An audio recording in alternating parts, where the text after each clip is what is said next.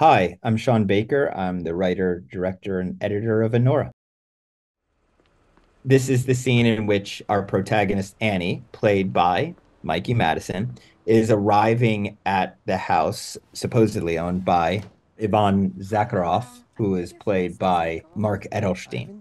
So this was obviously supposed to bring not only Ani into Ivan's world, but the audience into Ivan's world. So I wanted the camera to essentially be following Ani, but also be seeing the world through Ani's eyes.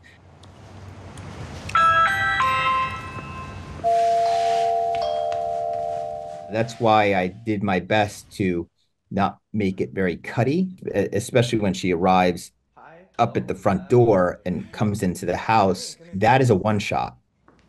So, welcome to my humble abode. Uh, hugs. Because I really wanted the audience to be walking through this space with Ani and seeing the space for the first time with Ani. So when she turns and looks to the right, the hmm. camera is turning and looking to the right. When she looks to the left, the camera's mm-hmm. turning and looking to the left. And what it does is that it really sets up the geography because the geography is going to be extremely important later on in the film, especially in the home invasion scene. So, Drew Daniels, my amazing cinematographer who I've worked with now twice, he is a master at handheld camera operation. So he's the one who's actually holding the camera and shooting this entire sequence. Not too shabby. What is shabby? Oh, I'm I'm just playing. Drew's handheld cinematography is about as steady as handheld can get, especially with a heavy camera like this. And then he lands in this beautiful two shot. You know, for me as an editor, that gave me a really solid out to cut to our wide static shot.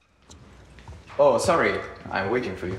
Oh. This was my wonderful actors adding a little bit of improv there where Mark runs up the stairs. And then the next shot where they're coming into the bedroom, this shot will be repeated at the end of the film.